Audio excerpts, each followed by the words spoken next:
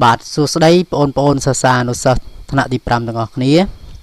បាទថ្ងៃនេះលោកគ្រូមានវីដេអូមេរៀនគណិតវិទ្យាបន្តទៀតវីដេអូនេះគឺស្ថិតនៅក្នុងមេរៀនទី9ស្ថិតនៅក្នុងមេរៀនទី9នៅចំណុចទី7អញ្ចឹងចំណុចទី7នេះគឺគេនិយាយពី ការប៉ាន់ស្មានផលដកចំនួនទស្សភាគអញ្ចឹងគេឲ្យយើងប៉ាន់ស្មានផលដកចំនួនទស្សភាគអញ្ចឹងមុននឹងយើងឈានចូលដល់អឺលំហាត់យើងត្រូវស្វែងយល់ពីបញ្ញត្តិក៏ដូចជាមេរៀននៅក្នុងមេរៀនជាមុនសិនបាទណាស្វែងយល់មេរៀននិងបញ្ញត្តិនៅក្នុងមេរៀនជាមុនសិនបាទអញ្ចឹងមេរៀនគេដាក់ថាឧទាហរណ៍គេថាផល្លាយកប្រហុក75.75គីឡូក្រាមទៅលក់ នាងនៅសល់ប្រហុក63.29គីឡូក្រាមហើយសំណួរគេសួរតើនាងលក់ប្រហុកបានប្រហែលប៉ុន្មានគីឡូក្រាម សំណួរគេសួរអញ្ចឹងបាទអញ្ចឹងយើងដឹងហើយចំណោទនឹងគឺគេធ្វើផលដកបាទអញ្ចឹងគឺគេយកប្រហុកដែលផលឡាមានសរុបទាំងអស់ហ្នឹងផលឡាដែលមានប្រហុកទាំងអស់គឺ 75.75គីឡូក្រាមអាហ្នឹងគឺជាប្រហុកដែលផលឡាមានទាំងអស់តំណនាងនៅសល់ប្រហុកនៅសល់ហើយដើម្បីឃើញប្រហុកដែលនាងលក់គឺយើងត្រូវយកប្រហុកដែលនាងមានទាំងអស់ហ្នឹងមកដកជាមួយនឹងប្រហុកនៅសល់ទៅឃើញប្រហុកដែលនាងលក់អស់ហើយបាទចឹងនេះចឹងដើម្បីប៉ាន់ស្មានផលដក មិនថាប៉ាន់ស្មានផលដកក៏ដោយប៉ាន់ស្មានផលបូកក៏ដោយគឺយើងត្រូវដឹងណាត្រូវដឹងថាផ្នែកគុតចុងចំនួនដែលនៅខាងមុខសញ្ញាចុចហ្នឹងគឺគេហៅថាផ្នែកគុតចុងផ្នែកគុតបើចំនួនដែលនៅខាងមុខសញ្ញាចុចហ្នឹងយើងដឹងហើយថាចំនួនដែលនៅខាងមុខសញ្ញាចុចគេហៅថាផ្នែកគុតចុងផ្នែកគុតខ្ទង់ទី1គេចាប់រាប់ពីស្ដាំទៅឆ្វេងចុងខ្ទង់ទី1គេហៅថាខ្ទង់រាយ ខ្ទង់ទី2គេហៅខ្ទង់10រីឯចំនួនដែលនៅខាងក្រោយសញ្ញាចុចចំនួនដែលនៅខាងក្រោយសញ្ញាចុចគឺគេហៅថាផ្នែកទស្សភាគអញ្ចឹងផ្នែកទស្សភាគខ្ទង់គេចាប់រាប់ពីឆ្វេងមកស្ដាំវិញណាគេចាប់គិតពីឆ្វេងមកស្ដាំផ្នែកទស្សភាគគេចាប់គិតពីឆ្វេងមកស្ដាំ ចុងខ្ទង់ទី1គេចាប់គិតពីឆ្វេងមកស្ដាំណាផ្នែកទស្សភាគខាងក្រោយសញ្ញាចុចហ្នឹងគេចាប់គិតពីឆ្វេងមកស្ដាំរីឯផ្នែកគុតគឺគេចាប់គិតពីស្ដាំទៅ ទៅឆ្វេងវិញណាអញ្ចឹងផ្នែកទស្សភាគខ្ទង់ទី1គេចាប់គិតពីឆ្វេងមកស្ដាំខ្ទង់ទី1គេហៅថាខ្ទង់ភាគ10ខ្ទង់ទី2គេហៅថាខ្ទង់ភាគ100បាទអញ្ចឹងឥឡូវដើម្បីប៉ាន់ដើម្បីប៉ាន់ស្មាន ថាតើចំនួននឹងត្រូវប្រកួតឡើងប្រកួតចុះគឺយើងត្រូវត្រូវមើលខ្ទង់ខ្ទង់ភាគ10ខ្ទង់ភាគ10នៅផ្នែកទស្សភាគបើខ្ទង់ភាគ10នៅផ្នែកទស្សភាគនឹងមានចាប់ពីលេខ5 6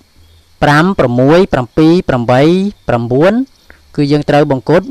បង្គុតឡើងបង្គុតឡើងឡើងមួយលេខថែមទៅ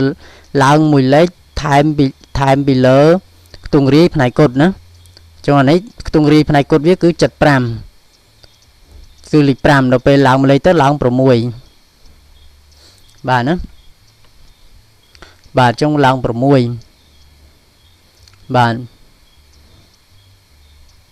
បាទអញ្ចឹងអានឹងឡើង6ណាបាទអញ្ចឹងអានឹងឡើង76 76ប៉ុន្តែនៅក្នុងនេះគេដាក់75បាទណាអត់ត្រូវទេ បាទគឺ76ណាអធិស្ឋាយកន្លែងហ្នឹងគឺ76បាទអធិស្ឋាយគឺកន្លែងហ្នឹង76ណាបាទតឥឡូវយើងបន្តទៀតបាទអធិស្ឋាយបាទណាបាទចឹងមិញយើងដឹងហើយណាយើងត្រូវដឹងថា យើងត្រូវយើងចង់ប្រកួតឡើងប្រកួតចុះគឺយើងសម្គាល់ខ្ទង់ភាគ10នៅផ្នែកទស្សភាគខាងក្រោយសញ្ញាចុចណាចុះហ្នឹងឡើង76 76យើងមកដកមកខ្ទង់រាយដកតាមខ្ទង់រាយមកទៅពេលនេះបើផ្នែកបើខ្ទង់ភាគ10វាមានចាប់ពីលេខ4 3គឺយើងត្រូវប្រកួតចុះអញ្ចឹងផ្នែកគុតវាគឺនៅដដែលអញ្ចឹងផ្នែកគុតវានៅ63ដដែលណាអញ្ចឹងដកមក 6ដក3សល់3 7ដក6ចេញសល់1ណាអញ្ចឹងយើងបានចម្លើយយើងគឺអឺដល់ទៅឃើញ13បាទណាអញ្ចឹងផល្លាលក់ប្រហុកបានប្រហែលជា13គីឡូក្រាមតើឥឡូវយើងចូលទៅមើលបញ្ញត្តិបាទបញ្ញត្តិគេនិយាយថាម៉េចដើម្បីប៉ាន់ស្មានផលដកចំនួនទស្សភាគយើងត្រូវបង្គុតចំនួនទស្សភាគទៅជាចំនួនគុតរួចធ្វើប្រមាណវិធីដក បាទចុងនិយមន័យគេថាដើម្បីប៉ាន់ស្មានផលដកចំនួនទស្សភាគយើងត្រូវបង្គុតចំនួនទស្សភាគហ្នឹងឲ្យទៅជាចំនួនគុតឲ្យបានជាចំនួនគុតរួចធ្វើប្រមាណវិវិធីដកបាទណាចុងនិយមន័យគេនិយាយអញ្ចឹងណាតើឥឡូវយើងចូលដល់លំហាត់លំហាត់គេឲ្យយើងចូលប៉ាន់ស្មានផលដកចំនួនទស្សភាគបាទអញ្ចឹងឥឡូវយើងមើលបាទណាហើយដូចខ្ញុំបានបញ្យល់មិញអញ្ចឹងកាលណាខ្ទង់ភាគ10 ខ្ទង់ភាគ10នៅផ្នែកទស្សភាគនេះអញ្ចឹងខ្ទង់ភាគ10គឺគេគេចាប់រាប់ពីឆ្វេងមកមកស្ដាំខ្ទង់ភាគ10ខ្ទង់ខ្ទង់ភាគ10គឺគេចាប់រាប់ពីឆ្វេងមកស្ដាំខ្ទង់ទីផ្នែកទស្សភាគយើងគឺខ្ទង់ភាគ10ណាខ្ទង់ភាគ10គឺចំណុច1នេះខាងក្រោយសញ្ញាចុចអញ្ចឹងបើខ្ទង់ភាគអបើខ្ទង់ភាគ10វាមានចាប់ពីលេខ0 1 2 3 4គឺយើងត្រូវបង្គុតចុះ បង្គុតចុះមានន័យថាចំនួនគុតវានៅនៅដដែលហើយបើបង្គុតឡើងគឺខ្ទង់ភាគ10នៅផ្នែកទស្សភាគយើងគឺមានចាប់ពីលេខ5ត្រូវបង្គុតឡើងលេខ6នៅខ្ទង់ភាគ10ត្រូវបង្គុតឡើងលេខ7នៅខ្ទង់ភាគ10ត្រូវបង្គុតឡើងលេខ8ត្រូវបង្គុតឡើងលេខ9នៅខ្ទង់ភាគ10ត្រូវបង្គុតឡើងណាជាងគេសម្គាល់អញ្ចឹងណាបង្គុតឡើងគឺចាប់មានចាប់ពីលេខ5 6 7 8 មានលេខ5 6 7 8 9ហ្នឹងដែលនៅខ្ទង់ភាគ10ហ្នឹងគឺត្រូវបង្គុតឡើង ឡើងឡើងមួយលេខថែមពីលើខ្ទង់រីផ្នែកគុតណាតើឥឡូវយើងមើលនេះមើលខ្ទង់ភាគ10វាគឺលេខ1អញ្ចឹងប្រគុតចុះប្រគុតចុះគឺអឺផ្នែកគុតវានៅ420 426ដដែលអានេះប្រគុតចុះដែរនេះខ្ទង់ភាគ10វាគឺលេខ4ខាងក្រោយសញ្ញាចុចណា បាទលេខ4អញ្ចឹងប្រគុតចុះគឺនៅដដែលអញ្ចឹងយើងដកមកបាទដកទៅគឺឃើញ6ដក2អញ្ចឹងសល់4ពីនេះដកបានយើងត្រូវខ្ចីណាខ្ចីឡើង12 12ដក6សល់6នេះគេខ្ចីឲ្យមួយសល់3 3ដក3 0បាទណាចឹងចម្លើយវាគឺបាន64 064ប៉ុន្តែខ្ញុំអត់បានដាក់0ទេណាបាទតាតើជាស្រ័យបាទតាឥ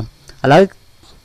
ខក៏ចឹងដែរណាយើងមើល ខ្ទង់ភាគ10នៅខាងក្រោយសញ្ញាចុចយើងគឺលេខ2អញ្ចឹងប្រកួតចុះបាទចឹងអានេះខាងក្រោមនេះគឺខ្ទង់ភាគ10វាគឺលេខ7អញ្ចឹងត្រូវបង្គុតឡើងណាអញ្ចឹងផ្នែកគុតវាត្រូវឡើងមួយលេខហើយអញ្ចឹង500 708អញ្ចឹងបង្គុតឡើងទៅឡើង5 709ណាបាទតាអញ្ចឹងវាត្រូវឡើង709អញ្ចឹងយើងដកមក ដកបានទេយើងខ្ចីបាទខ្ចីឡើង16 16 19សល់7អានេះគេខ្ចីអស់មួយសល់2 2ដក2ដក0ចេញសល់2បាទ9ដក7ចេញសល់2អញ្ចឹងចម្លើយវាគឺឃើញ227ណាបាទចម្លើយខតឥឡូវយើងចូលដល់លំហាត់បន្តទៀតបាទលំហាត់នេះគឺចឹងធ្វើដូចគ្នាដដែលខ្ទង់លំហាត់គោនេះគឺ ខ្ទង់ភាគ10វាគឺលេខ7អញ្ចឹងយើងត្រូវប្រគុតឡើងណា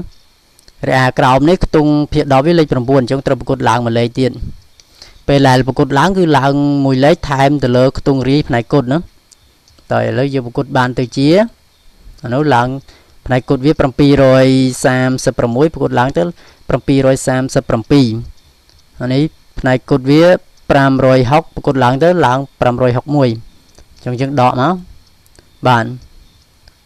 7ដក1សល់6ដកអត់បានខ្ចីឡើង13 13ដក6ចេញសល់7អានេះគេសល់6 6ដក5ចេញសល់1បាទចុងចម្លើយវាបាន176តើឥឡូវខោម្ដងខោក៏ចឹងដែរណាចុងយើងមើលខ្ទង់ខ្ទង់ភាគ10វាគឺលេខ4លេខ4យើងត្រូវប្រកួតចុះហើយ រីឯក្រោមនេះខ្ទង់ភាគ10វាលេខ5អញ្ចឹងត្រូវប្រកួតឡើងឡើងឡើងមួយលេខថែមទៅលើខ្ទង់រីផ្នែកគុតនេះបាទតោះយើងចង់យើងបង្គុតបានទៅជាអានេះប្រកួតចុះអាក្រោមនេះប្រកួតឡើង541ប្រកួតឡើងមួយលេខទៅឡើង542អញ្ចឹងយើងធ្វើការដកមក11 7ដក4ចេញសល់3 6ដក5ចេញសល់1អញ្ចឹងយើងបានចម្លើយគឺ131 បាទតោះឥឡូវយើងបន្តអានេះម្ដង876.59អញ្ចឹងអឺខ្ទង់ភាគ10វាគឺលេខ5នេះនេះលេខ5នេះអញ្ចឹងត្រូវបង្គុតឡើងណារែក្រោមនេះខ្ទង់ភាគ10វាលេខ9អញ្ចឹងត្រូវបង្គុតឡើងទៀតណាឡើងមួយលេខទៀតអញ្ចឹងយើងបានទៅជា877ណាឡើងមួយលេខអានេះឡើង8 675 8វិញអញ្ចឹងយើងធ្វើការដកមកដកអត់បានទេយើងខ្ចីឡើង17ដក8ចឹងសល់9អានេះខ្ចីអស់មួយសល់6 6ដកអត់បានខ្ចីតពីលេខ8នេះទៅឡើង16ដក7ចេញសល់9 8នេះគេខ្ចីអស់មួយសល់7 7ដក6ចេញនៅសល់1ចឹងចម្លើយឃើញ199អងោណាបាទតោះឥឡូវចចឥឡូវយើងមើល អឺខ្ទង់ភា10វាឥឡូវនេះគឺលេខ7អញ្ចឹងយើងប្រគុតឡើងឡើងទៅជា648ក្រោមនេះផ្នែកគុតវា359ប្រគុតឡើងទៅ360បាទណាអញ្ចឹងយើងប្រគុតទៅជា648ប្រគុតឡើងអានេះ660វាឡើងមួយលេខបាទអញ្ចឹងធ្វើការដកមកបាទអញ្ចឹងយើងធ្វើការដកគឺយើង អានេះយើងដកបានខ្ចីបាទខ្ចីទៅឡើង14 14ដក6ចេញសល់8អានេះគឺខ្ចីឲ្យមួយសល់5 5ដក2ចេញសល់3ដក3ចេញសល់2អត់ជាស្រ័យណាបាទអញ្ចឹងយើងនឹងបានចម្លើយគឺ288ណាបាទអានឹងចម្លើយចណាតឥឡូវយើងបន្តទៀតចូលដល់ឆនិងចូលជាជាលំហាត់ចុងបញ្ចប់បាទអញ្ចឹងឆក៏ធ្វើអញ្ចឹងដូចគ្នាដែរណាហើយត្រូវចាំណា មិនថាប៉ាន់ស្មានផលដកក៏ដោយប៉ាន់ស្មានផលបូកក៏ដោយគឺយើងត្រូវធ្វើតាមវិធីនឹងដូចគ្នាណាបាទអញ្ចឹងឥឡូវយើងមើលអឺអាឆនេះអាផ្នែកខ្ទង់ភាគ10ខ្ទង់ភាគ10នៅឥឡូវនេះគឺលេខ6អញ្ចឹងប្រគុតឡើងណាអញ្ចឹងផ្នែកគុតវាត្រូវឡើង786រាក្រោមនេះផ្នែកគុតវា626ប្រគុត ខ្ទង់ភាគ10វាគឺលេខ3អញ្ចឹងប្រកួតចុះណាអញ្ចឹងនៅ626ដដែលអញ្ចឹងយើងប្រកួតបានទៅជា786ដកនឹង626អញ្ចឹងយើងដកមក6ដក6សូនអានេះសល់6 7ដក1សល់ដក6សល់1អញ្ចឹងយើងបានចម្លើយឆយើងគឺ160តឥឡូវជើជើគឺជើយើងឃើញលេខ9 9អញ្ចឹងគឺ វាប្រកួតឡើងច្រើនតង់ណាបាទអញ្ចឹងឥឡូវយើងមើលអឺផ្នែកគុតនេះគឺ999ហើយខ្ទង់ភាគ10វាគឺលេខ9អញ្ចឹងយើងត្រូវបង្គុតឡើងណាពេលដែលយើងបង្គុតឡើងពេលដែលយើងបង្គុតឡើងគឺផ្នែកគុតអានេះ9ឡើងមកលេខទៅ10 10ត្រូវទៅសេលេខ0អញ្ចឹងសេលេខ0ត្រូវត្រាមកទុកលើលេខ9នេះ9បូកនឹងត្រា1ឡើង10សេ0ទៀត ពេលដែលយើងប្រកួតឡើងបាទត្រូវចាំណាអាលំហាត់បើយើងឃើញលំហាត់លំនាំបែបហ្នឹងគឺអ្នកខ្លះអត់ចេះប្រកួតចឹងទេណាអ្នកខ្លះឃើញ9 9អញ្ចឹង9 3ដើមឬក៏4ដើមអញ្ចឹងអ្នកខ្លះពិបាកគិតថាពិបាកណាតែពិតអត់ទេណាយើងប្រកួតទៅគឺឡើងទៅបូកទៅទៅឡើងទៅ10 10សេ0ត្រាទុក1 1បូក9ទៀតឡើង10ទៀតសេ0ទៀតទៅមកត្រាទុកលើលេខ9នេះមួយទៀត ចុង9នេះបូក1 10 10ចុងអស់មានលេខត្រូវត្រាចុងឃើញ1000ចុងឥឡូវប្រគុតឡើងទៅទៅឡើងបាន1000រីឯក្រោមនេះប្រគុតឡើងមួយលេខដែរព្រោះខ្ទង់ភាគ10វាគឺលេខ7ចុងវាត្រូវប្រគុតឡើងមួយលេខមកឡើងមួយលេខទៅលើខ្ទង់រីផ្នែកគុតនេះចុងផ្នែកគុតយើងអាក្រោមនេះគឺ879ចុងឡើងមួយលេខទៅលើខ្ទង់រីផ្នែកគុតទៅឡើង80ចុង880 ចឹងមានថា1000ដកនឹង880ចឹងយើងដកមក0ដក0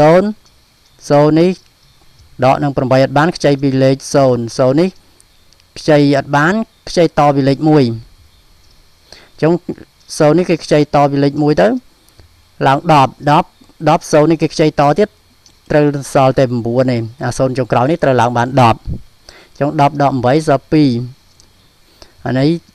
0នេះគេខ្ចីត ខ្ចីពីលេខ1ឡើង10 10អា0នៅខាងចុងនេះគេខ្ចីតទៀតអានេះ10ហ្នឹងនៅសល់តែ9ទេអញ្ចឹង9ដក8សល់1ហើយលេខ1ខាងមុខនេះគេខ្ចីអា0បន្ទាប់នេះគេខ្ចីទៅសល់តែ0នេះអញ្ចឹង0គ្មានន័យដកទម្លាក់អញ្ចឹងអាចូលនេះគឺឃើញចម្លើយ0 0120អញ្ចឹងចម្លើយវាគឺ ប្រហែលជា0120ណាបាទអញ្ចឹងសញ្ញានេះគេហៅថាសញ្ញាប្រហែលណានេះសញ្ញាសញ្ញាដូចទឹករលកហ្នឹងអាហ្នឹងគេហៅថាសញ្ញាប្រហែលអញ្ចឹងសញ្ញាប្រហែលហ្នឹងគឺគឺគេប្រើជំនួសឲ្យសញ្ញាស្មើជំនួសឲ្យសញ្ញាស្មើហើយនឹងប្រើនៅក្នុងការប៉ាន់ស្មានណាក្នុងលំហាត់ដែលប៉ាន់ស្មានដូចជាប៉ាន់ស្មានផលបូកប៉ាន់ស្មានផលដក គឺត្រូវប្រើសញ្ញាប្រហែលហ្នឹងហើយព្រោះសញ្ញាប្រហែលវាជំនួសឲ្យសញ្ញាស្មើហើយវាប្រើនៅក្នុងលំហាត់ដែលគឺបញ្ជាឲ្យប៉ាន់ស្មានហើយប៉ាន់ស្មានផលបូកផលដកឬក៏ប៉ាន់ស្មានផលគុណឬក៏ប៉ាន់ស្មានផលចែកអីចឹងទៅណាបាទអញ្ចឹងវីដេអូមួយនេះក៏ដល់ទីបញ្ចប់ហើយហើយបើពេញចិត្តវីដេអូមេរៀននេះសូមកុំភ្លេចជួយចុចជាវឬ Subscribe ហើយនឹងរូប កណ្ដឹងខាងក្រោមវីដេអូមួយនេះដើម្បីទទួលបានវីដេអូថ្មីថ្មីបន្តបន្តទៀតបាទសូមអរគុណ